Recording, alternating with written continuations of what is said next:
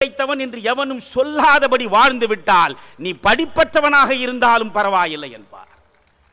எனவே ஒழுக்கம் உள்ளவர்களாக பிள்ளைகளை நீங்கள் வளர்ப்பதற்கு முதலிலே முயல வேண்டும். வெறும் மதிப்பெண்களை பெறக்கூடிய இயந்திரமாக பிள்ளைகளை மாற்றாதீர்கள். சின்னஞ்சிறு பருவத்தில் குழந்தைகள் வண்ணத்து பூச்சிகளை போன்ற கனவுகளோடு இருக்கக்கூடியவர்களை ஆட விடுங்கள் ஓட விடுங்கள். ஓடுவதென்றால் வீட்டிலிருந்து ஓடி விடுவதல்ல நன்றாக ஆட விடுங்கள். ஓடி விளையாடு பாப்பா என்று தானே பாரதி பேசுகிறான். ஒரு நான்கு சுவர்களுக்குள்ளே ஒரு குழந்தையை முடக்கி விடாதீர்கள். புத்தகங்களை சுமைகளாக கொண்டு வந்து தலை மீது திணித்து திணித்து அவர்களை கூனி குறுகி முதுகெலும்பற்றவர்களாக மாற்றி விடாதீர்கள். நான் உங்களுக்கு தெளிவாக ஒன்று சொல்கிறேன். புத்தகங்களை படிப்பதனாலேயே எவனும் புத்தனானது கிடையாது. நிறைய புத்தகங்களை வாசிப்பதனால் ஒருவன் அறிஞனாகி விட்டானா? மேதையாகி விட்டானா? தத்துவஞானி ஆகிவிட்டானா என்றால் இல்லை. மிக தெளிவாக சொல்கிறேன். இப்பொழுது நீங்கள் ஆயிரத்தி இருநூறுக்கு ஆயிரத்து நூற்றி தொண்ணூற்றி எட்டு மதிப்பெண்களை பெற்றிருக்கலாம் அந்த பையன் அல்லது பெண். ஆனால் அவர்களை பின்தொடர்ந்து பாருங்கள்.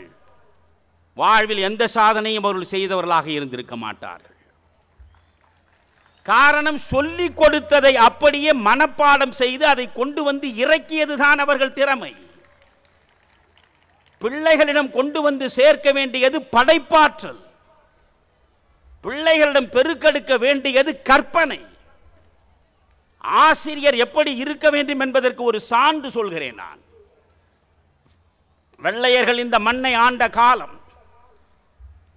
ஆயிரத்து தொள்ளாயிரத்தின் தொடக்கம் அது.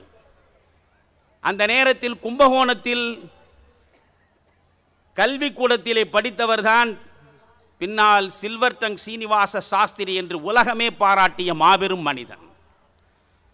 அவர் மிக மிக வறுமை குடும் வறுமை கொடுமையிலே சிக்கி கிடந்த ஒரு குடும்பத்தில் பிறந்தவர். ஒரு நாள் கடுமையாக மழை பொழிகிறது. அவருக்கு மாற்று உடை கிடையாது. ஒரே ஒரு சட்டை தான் கால் சட்டையும் மேல் சட்டையும். மாற்று உடை கிடையாது. கல்வி நிலையத்திற்கு சென்று வீடு திரும்பியதும் உடனே அவர் துவைப்பார். துவைத்து காய வைத்து மறுநாள் காலையில் உடுத்தி கொண்டு வருவார். ஆனால் ஒரு நாள் இரவு கடுமையாக மழை பொழிந்தது. அந்த மழையில் அந்த சட்டை முழுவதும் நனைந்து விட்டது. ஆனால் ஒரு நாள் கூட பள்ளிக்கு வருவதை நிறுத்தாத அந்த பிள்ளை சீனிவாச சாஸ்திரி என்று சொல்லப்பட்ட சீனிவாசன் பள்ளிக்கு மேல் சட்டை இல்லாமலேயே வந்து உட்காருகிறான் வகுப்பறையில். அப்படி உட்கார்ந்த அந்த பையனை இந்த பள்ளியின் முதல்வர் பார்க்கிறார். அந்த பள்ளியினுடைய முதல்வர் அவனை பார்க்கிறார். சட்டையே இல்லாமல் வந்து உட்கார்ந்திருக்கிறானே என்று அவனை அழைத்து எட்டனா? இன்றைக்கு ஃபிஃப்டி பைஸ் என்று சொல்கிறீர்களே எட்டனா? உனக்கு அபராதம் என்று விதிக்கிறார். உடனே அவன் கண்ணீர் விட்டபடி சொல்கிறான் ஐயா எட்டனா இருந்திருந்தால் நான் ஒரு புதிய சட்டையே வாங்கி போட்டு கொண்டு வந்திருப்பேனே. மாற்று சட்டை கூட இல்லாத வாழ்வு எங்களுடையது.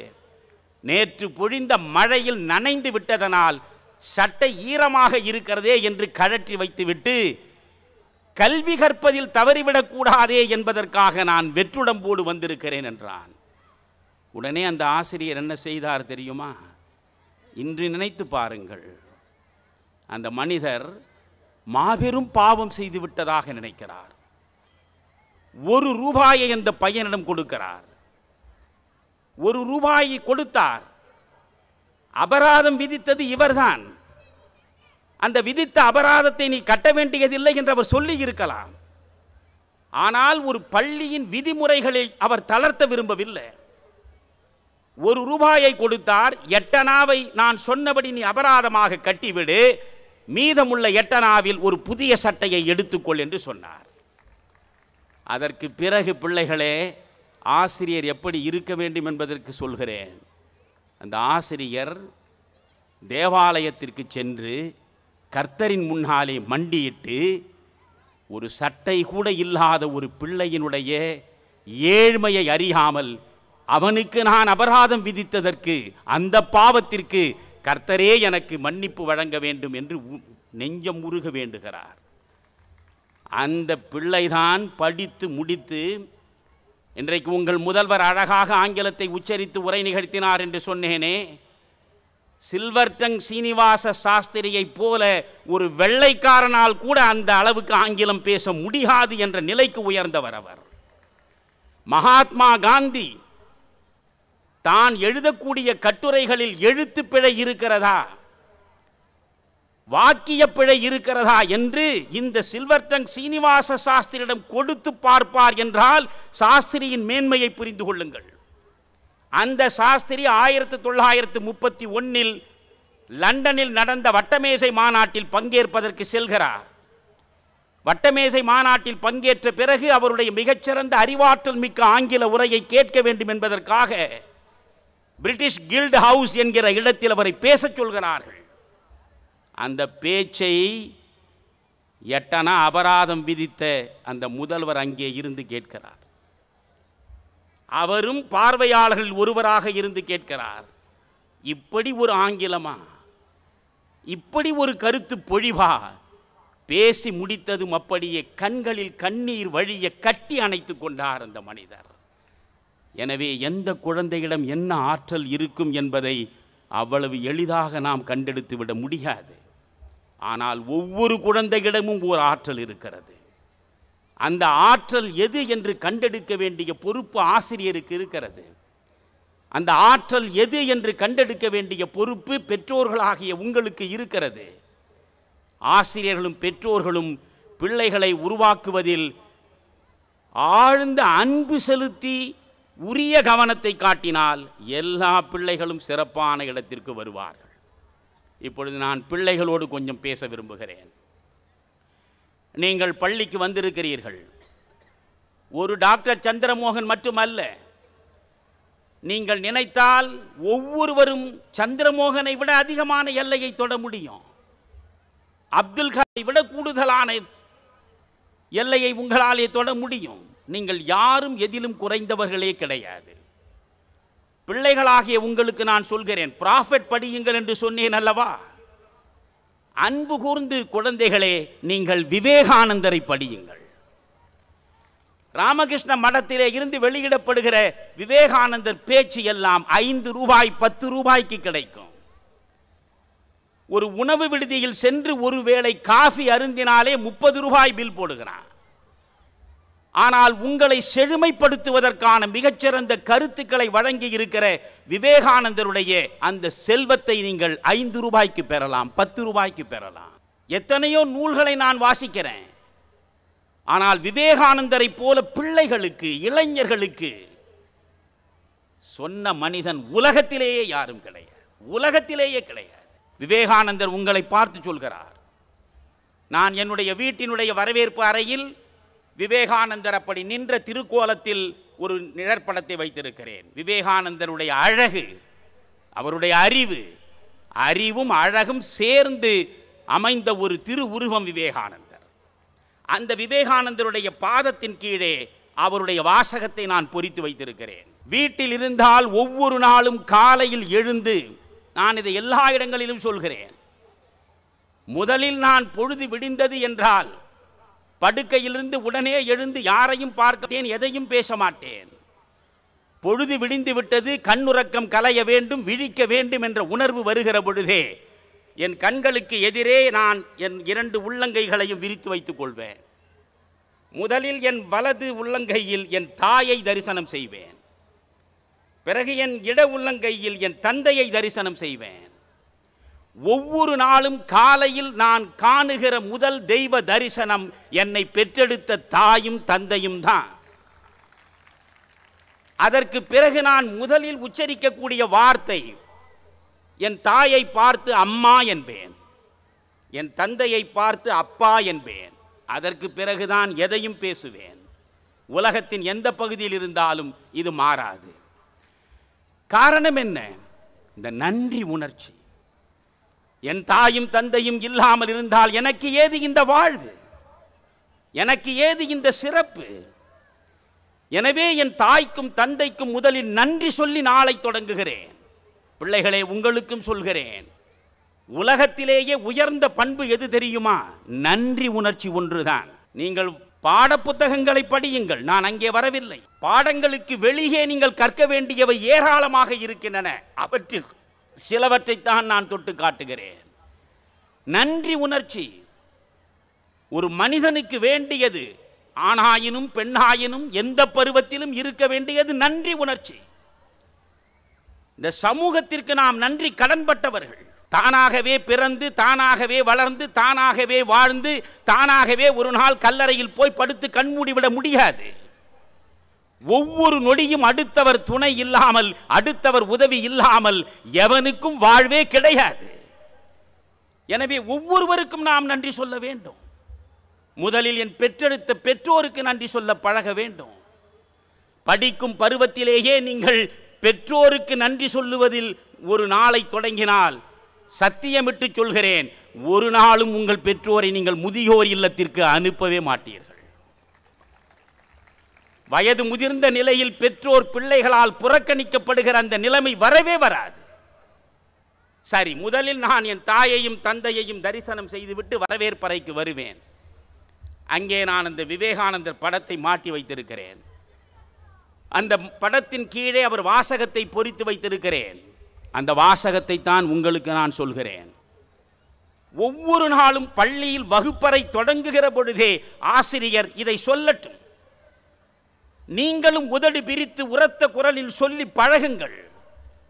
இதை விட தன்னம்பிக்கை தருகிற வலிமையை தருகிற வாழ்வுக்கு வெளிச்சத்தை உருவாக்குகிற வாசகம் எதுவுமே கிடையாது. அந்த இடத்தில் வந்து நிற்பேன். இந்த படத்திற்கு முன்னால் என் வீட்டில் நானும் என் மனைவியும் மட்டும்தான் இருக்கிறோம். நான் ஒவ்வொரு நாளும் வந்து நின்று உரத்த குரலில் அதை படிப்பேன். ஒரு வாரம் கழித்து என் மனைவி என்னிடம் கேட்டாள் நாம் ரெண்டு பேர் தானே இருக்கிறோம். யாருக்காக நீங்கள் இதை உரத்த குரலில் படிக்கிறீர்கள்? என்று. நான் சொன்னேன் இது வெற்றி சொற்கள் இல்லை. இது ஒரு மந்திரம். வாழ்வை வளப்படுத்துவதற்கு விவேகானந்தர் வழங்கியிருக்கிற மந்திரம். வாய் திறந்து சொல்ல வேண்டும். உரத்த குரலில் உச்சரிக்க வேண்டும். அது தருகிற அதிர்வலைகள் என் உள்ளத்திற்குள்ளே வந்து உட்கார்ந்து என்னை இன்னும் ஒரு அங்குலம் இந்த நாளில் உயர்த்தி காட்டும். அங்குலம் அங்குலமாக வாழ்வை உயர்த்தும். அதை உங்களுக்கு இப்பொழுது நான் சொல்கிறேன். தயவு செய்து நீங்கள் மனதில் வைத்துக் கொள்ளுங்கள். இதைவிட தன்னம்பிக்கை தருகிற வாசகத்தை இந்த உலகத்தில் வழங்கியவன் யாரும் கிடையாது. ஒவ்வொரு நாளும் வகுப்பறையில் நீங்கள் சொல்லி பழகலாம். ஆசிரியர்கள் இதை சொல்லலாம். பெற்றோர்களும் இதை நினைவுபடுத்தலாம். அந்த வாசகத்தை சொல்கிறேன். அந்த படத்திற்கு முன்னால் வந்து நிற்பேன். கீழே பொறிக்கப்பட்ட வாசகத்தை வாய் திறந்து சொல்வேன். All power is within you Vivekananda எப்படி சொல்கிறார் பாருங்கள். All power is within you நான் ஒரு ஏழைக்கு மகனாக பிறந்து விட்டேனே. என்னால் மிகப்பெரிய சாதனைகளை செய்ய முடியுமா? நான் படிப்பறியாத பெற்றோர்களுக்கு மகனாக பிறந்து விட்டேனே. என்னால் மிகப்பெரிய உயர்வை அடைய முடியுமா? ஒரு செப்பு காசுக்கும் வழியற்ற குடும்பத்தில் கூரை குடிசையின் கீழே வாழுகிற தாய்க்கும் தந்தைக்கும் மகளாக பிறந்திருக்கிறேனே. சரித்திர சாதனைகளை என்னால் நிகழ்த்த முடியுமா? ஊனமுற்ற நிலையிலே நான் இறைவன் என்னை படைத்து விட்டானே. ஒழுங்காக நடக்க முடியவில்லையே நான் சாதிக்க முடியுமா? சிறப்பாக செயற்படுகிறார் போல் என் உடல் அமைப்பு இல்லையே நான் சாதிக்க முடியுமா? என்றெல்லாம் முடங்கி விடுகிற ஒவ்வொருவரையும் பார்த்து விவேகானந்தர் சொல்கிறார் all power is within you நீ சாதாரண பிறவி அல்ல. உன்னை இறைவன் களிமண்ணாக கொண்டு வந்து இந்த பூமியில் சேர்க்கவில்லை. நீ யார்? எல்லா சக்திகளும் உள்ளவன். எல்லா ஆற்றல்களும் உள்ளவள். All power is within you you can do anything and everything you can do anything and everything எல்லா ஆற்றல்களும் உங்களுக்குள்ளே இருக்கின்றன. எல்லா வலிமையும் உங்களுக்குள்ளே இருக்கின்றன. எல்லா சக்தியும் உங்களுக்குள்ளே இருக்கின்றன. நீங்கள் நினைத்தால் எதையும் சாதிக்கலாம். You can do anything and everything how because all power is within you எல்லா ஆற்றலும் உனக்குள்ளே இருக்கிறது. இப்போ இந்த வாசகத்தை பாருங்கள். All power is within you you can do anything and everything அடுத்தது தான் அழகு. Do not believe that you are weak do not believe that you are weak ஒரு நாளும் பலவீனமானவன் நான் பலவீனமானவள் நான் என்று மட்டும் நினைந்து தயங்கி தளர்ந்து விடாதே. All power is within you you can do anything you can do everything stand up and express your divinity என்பார் விவேகானந்தர் எனவே உங்களுக்கு நான் சொல்கிறேன். வாழ்வில் கல்லாய் மரமாய் இருப்பதற்காக நாம் பிறக்கவில்லை. ஒவ்வொரு தருணத்திலும் ஒரு புதிய புதிய கற்பனை உங்களுக்குள்ளே ஊற்றெடுக்க வேண்டும். படைப்பாற்றல் பெருக வேண்டும். கற்பனையும் படைப்பாற்றலும் பெருக வேண்டுமென்றால் உங்கள் தாய்மொழியை நீங்கள் ஒரு நாளும் புறக்கணிக்காமல் தமிழில் பேச பழகுங்கள். தமிழை பேசுங்கள். கல்வியில் இரண்டு கல்வி இருக்கிறது. இப்பொழுது பெற்றோர்களுக்கு சொல்கிறேன். ரெண்டு விதமான கல்வி இருக்கிறது. நீங்கள் கொடுக்க விரும்புகிற கல்வி எது தெரியுமா? வயிற்று கல்வி. நான் உங்களிடம் கொண்டு வந்து சேர்க்க விரும்புகிற கல்வி எது தெரியுமா? வாழ்க்கை கல்வி. வயிற்று கல்வி வேறு வாழ்க்கை கல்வி வேறு. வயிற்று கல்வி எது? எதை படித்தால் எதில் அதிக மதிப்பெண்களை பெற்றால் எந்த பட்டத்தை நான் அடைந்தால் எனக்கு பெரிய வேலை கிடைக்கும். எந்த வேலை கிடைத்தால் மிக அதிகமாக நான் சம்பாதிக்கலாம். எதில் அதிகமாக சம்பாதித்தால் என்னென்ன சுகங்களில் நான் ஈடுபடலாம்? என்று மட்டுமே நினைக்கிற சோற்றை பற்றி மட்டுமே கவலைப்படுகிற கல்விதான் வயிற்று கல்வி. சோற்றுக்கான கல்வி. அதை நான் குறை சொல்லவில்லை. அந்த சோற்றுக்கான கல்விக்காக நீங்கள் ஆங்கிலம் படியுங்கள் பிரெஞ்சு படியுங்கள் ஜெர்மன் படியுங்கள். இந்தி படியுங்கள் சமஸ்கிருதம் படியுங்கள் எத்தனை மொழிகளையும் படியுங்கள். ஆனால் எது வாழ்வு என்பதை உங்களுக்கு புலப்படுத்துவதற்கு எது சரி எது தவறு என்று தெளிவாக உங்களுக்கு உணர்த்துவதற்கு எந்த பாதையில் நடந்தால் நீங்கள் உயர்வை அடையலாம் எந்த பாதையில் வழி தவறினால் நீங்கள் தாழ்ந்து போகலாம் என்று விளக்குவதற்கு ஈராயிரம் ஆண்டுகளுக்கு முன்னால் இருந்து நம் மூதாதையர்கள் சிந்தித்து சிந்தித்து வழங்கி இருக்கிற அந்த தமிழை நீங்கள் படிப்பதன் மூலம்தான் வாழ்க்கை கல்வியை பெறுவீர்கள். பண்பாட்டு கல்வியை பெறுவீர்கள். கொஞ்சம் யோசியுங்கள். நான் திண்ணை பள்ளிக்கூடத்தில் படித்தவன். ஐந்தாம் வகுப்பு வரை இது போன்ற ஒரு பெரிய திண்ணையில் ஒரே ஒரு ஆசிரியர் உட்கார வைத்து படிக்க வைத்தார். அங்கேதான் என் பெற்றோர் என்னை சேர்த்தார்கள். அந்த திண்ணை பள்ளிக்கூடத்தில் நான் படித்தேன். முதலில் அந்த ஆசிரியர் என்ன செய்தார் தெரியுமா? முதல் வகுப்பிலிருந்து ஆங்கிலம் அல்பபெட்ஸை கற்றுக் கொடுத்தவர் அவர். அப்பொழுது நான் படித்த காலத்தில் ஏ பி சி டி என்று படிப்பதற்கே ஆறாம் வகுப்புக்கு வர வேண்டும். ஆறாம் வகுப்புக்கு வந்தால்தான் ஏ பி சி டிஏ படிக்க முடியும். ஆனால் நான் படித்த திண்ணை பள்ளிக்கூடத்தில் முதல் வகுப்பிலேயே ஆங்கிலமும் கற்றுக் கொடுத்தார். தமிழை கற்றுக் கொடுத்தார். இருநூற்றி நாற்பத்தி ஏழு எழுத்துக்களை அறிமுகப்படுத்தினார். இருநூற்றி நாற்பத்தி ஏழு எழுத்துக்களை அறிமுகப்படுத்திய பிறகு உடனே அவர் ஆத்திச்சூடி கற்றுக் கொடுப்பார். இதில் உங்களில் எத்தனை பேருக்கு ஆத்திச்சூடி தெரியும்? ஔவையினுடைய ஆத்திச்சூடியை கற்றுக் கொடுப்பார். அந்த ஆத்திச்சூடியின் மூலம் ஆசிரியர் எனக்கு எதை சொல்லிக் கொடுத்தார்? தாயிற் சிறந்ததொரு கோவிலும் இல்லை. தந்தை சொல் மிக்க மந்திரம் இல்லை. எப்பொழுது கற்றுக் கொடுக்கிறார்? என் ஐந்து வயதில். எழுதப்படாத பலகையாக என் இருதயம் இருக்கிற பொழுது அந்த இருதயத்தில் இந்த ஆசிரியர் எழுதுகிறார். தாயிற் சிறந்ததொரு கோவிலும் இல்லை. தந்தை சொல் மிக்க மந்திரம் இல்லை. அதனால்தான் இந்த தாயையும் தந்தையையும் நான் தெய்வமாக போற்றுகிறேன். இதுவே நீங்கள் பள்ளியில் ஆங்கில பள்ளிக்கு செல்கிறீர்கள். உங்களுக்கு ரைம் சொல்லிக் கொடுப்பார்கள். உங்களுக்கு சொல்லிக் கொடுக்கிற rhymes twinkle twinkle little star how I wonder what you are படிக்கிறீர்களே அதன் மூலம் எந்த மாறல் எந்த ஒழுக்கம் எந்த அறம் உங்களால் அறியப்படுகிறது? யோசித்து சொல்லுங்கள். மழையே மழை எப்பொழுது வரும் என்று தவம் இருக்கிற பூமி இது. இங்கே பிள்ளைகளை உட்கார வைத்து rain rain go away rain rain go away போய் வா மழையே என்று வழி அனுப்புகிறோம் நான். ஆனால் நான் ஆங்கிலத்திற்கு எதிரி அல்ல. நான் மீண்டும் சொல்கிறேன் ஜெர்மானியத்தின் மிகப்பெரிய தத்துவ ஞானி மிகப்பெரிய படைப்பாளி கதே. கதேவை நான் எப்படி அறிந்து கொண்டேன்? ஜெர்மனி படித்தா?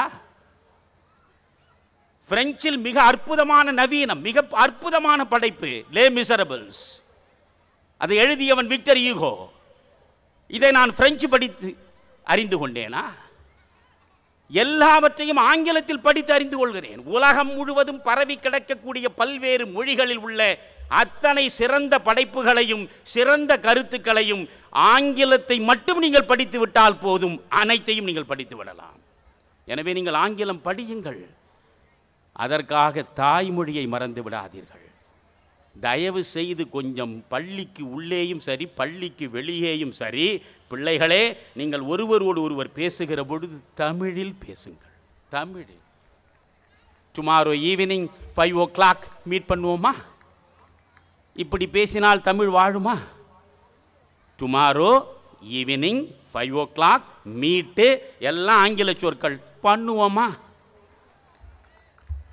இன்றைக்கு எல்லா கல்லூரி பிள்ளைகளும் இப்படித்தானே பேசுகிறார்கள்? ஒரே ஒரு வாக்கியத்தை ஒரு ஆங்கில சொல் இல்லாமல் முழுமையாக தமிழ் பேச நம்மால் முடியவில்லை என்றால் காலநடையில் தமிழ் காணாமலே போய்விடும். எனவே புரிந்து கொள்ளுங்கள் உங்கள் ஒவ்வொருவருக்கும் ஒரு உலகம் இருக்கிறது உங்கள் ஒவ்வொருவருக்கும் ஒரு கனவு இருக்கிறது உங்கள் ஒவ்வொருவருக்கும் ஒரு இலக்கு இருக்கிறது. அந்த இலக்கை நீங்களே தீர்மானியுங்கள். உங்கள் பெற்றோரை தீர்மானிக்க விடாதீர்கள். நீங்கள் தீர்மானியுங்கள். நான் அதனால்தான் உங்களுக்கு மோசஸ் பத்து கட்டளைகளை வழங்கியதைப் போல இங்கே நான் உட்கார்ந்து கொண்டு உங்களுக்காக நான் பத்து கட்டளைகள் அல்ல பத்து பரிந்துரைகளை உருவாக்கினேன். இவற்றை சொல்லி நான் நிறைவு செய்கிறேன்.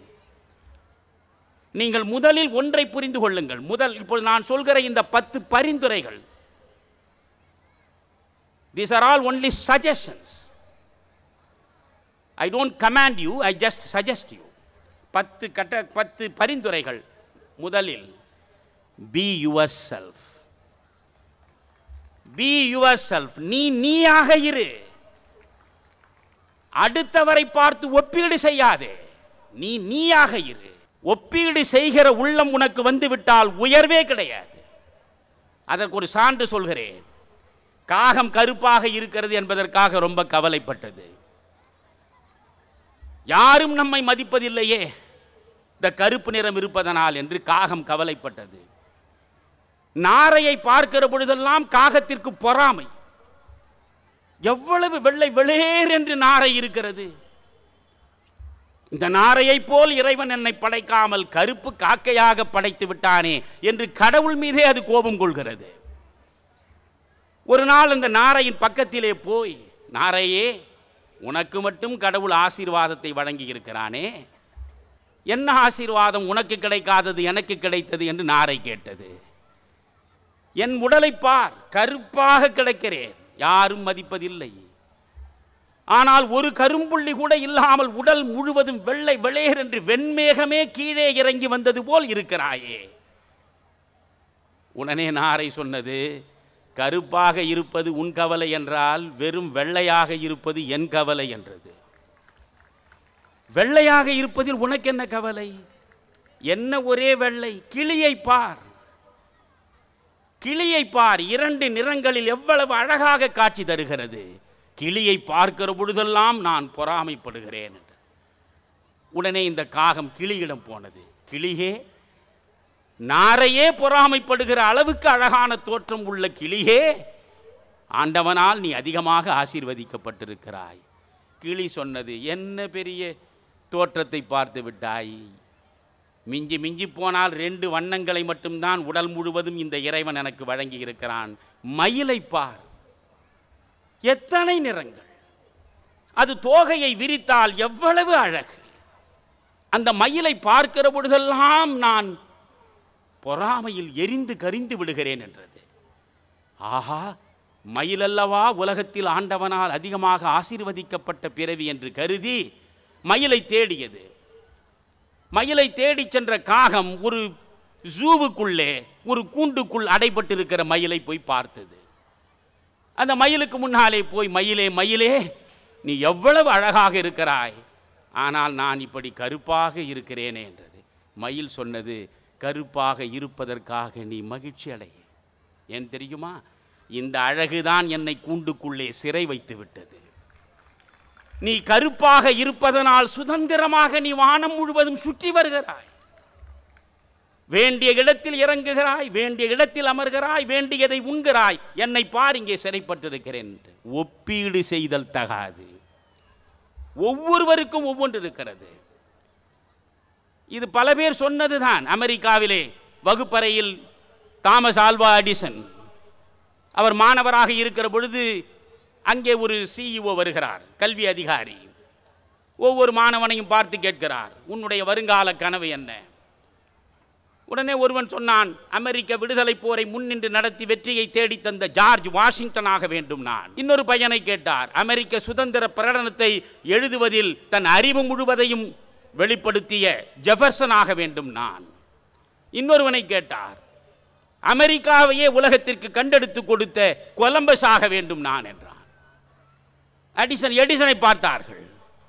தாமஸ் ஆல்வா எடிசனை நீ என்ன ஆக வேண்டும்? நான் எடிசனாகவே இருக்க வேண்டும் என்று தான் விரும்புகிறேன். எடிசனாகவே எல்லா புகழையும் அடைய வேண்டும். அதனால் உங்களுக்கு சொல்கிறேன் பி யுவர் செல்ஃப் நான் ஒவ்வொன்றையும் விளக்குவது என்று எடுத்தால் நேரம் அதிகமாகிவிடும்.